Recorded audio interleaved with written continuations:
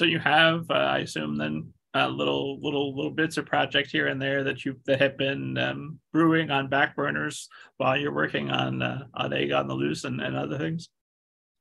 Oh yeah, yeah. I have many sketchbooks that probably have 150 sketchbooks of ideas and pieces of things, and a lot of times they do without my even meaning to. They kind of morph into another form, and then they become a book when I look back, I say, oh, that's where that came from. Like it was a different name, it was a different character, but the same kind of idea became one of my actual published books.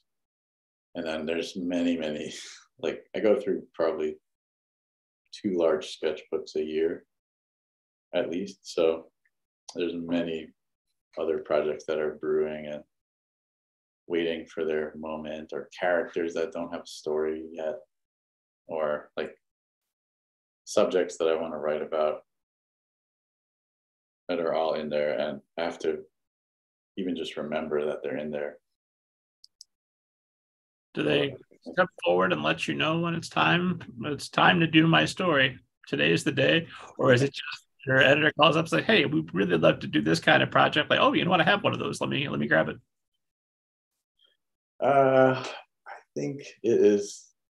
Yeah, it has its time, and I'm hoping for some characters I've had them for like 12 years now. I'm just like, man, when is this gonna when am I gonna know what the story is for this character? But I don't give up. I keep on trying to put them into different stories and find out who they are. And like for example, with Elephant of Surprise, uh, that's an interrupting chicken book. I had this idea for an elephant of surprise for a long time even before the first chicken book came out. But I didn't know what to do with the elephant. And then I realized if I put it into the chicken book, it'll be this really good chemistry. And like that's where the elephant finally found its home in an interrupting chicken book. Oh, this is cool. I haven't even seen this. they put they put like some crayon decorations in the beginning that I haven't seen. nice. The paperback version, so it's different than what I've seen.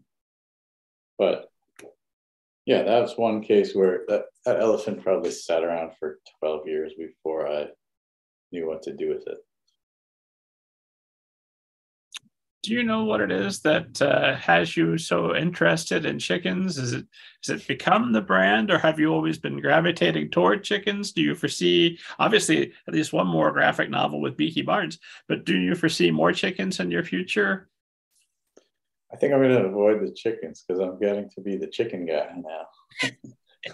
but I just happen to have these characters that are chickens and needed to be in a story, so Beaky is not the same as the little red chicken. Uh, it wouldn't have worked as well with like a Gila monster or something because uh, I guess they lay eggs too, but I needed to have a character who lays an egg. And chickens are just funny, and she clucks instead of talking throughout the whole, you know, series. So she's she's the main character, but she only says cluck basically for for 128 pages. um, so I thought that was really fun to just have this character who, you know, she just clucks and you have to guess how she's feeling by the context and what she's doing. And it's a funny noise. Chickens just sound funny and they walk funny and the and the word chicken is funny. So it's a pretty tempting package to put into a book. But yeah, I think and the next one is is mainly about a duck. So I got away from the chickens somewhat in the sequel.